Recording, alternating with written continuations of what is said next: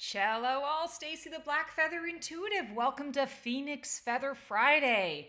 Where are we at energetically? What do our guides want us to know about our current transformation?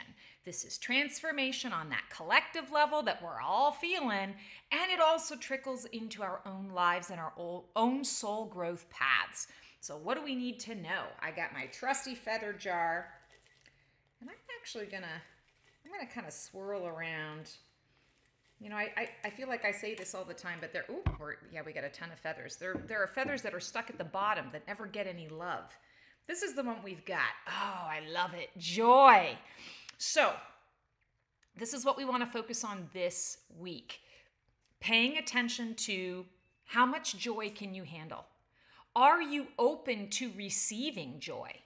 There's a really important question. Are you really open to receiving joy? What does it mean to be open to receiving joy? Maybe it's time to make a shift or a tweak in order to be able to open yourself to the joy. Sometimes we get so caught up in the day to day, in our monkey minds, that we forget about just what it feels like to go, ah. In fact, let's do that. I want you to just take your shoulders, pull them back, Breathe in. And let it out in a sigh. You feel different, right? This is open, open heart. Now, when I'm open, I can receive. What would I like to receive? Well, universe, bring me a ton of joy. Bring it into my heart space. Allow me to feel it. I receive it with love and gratitude ask yourself where you are blocking yourself in your life from experiencing joy.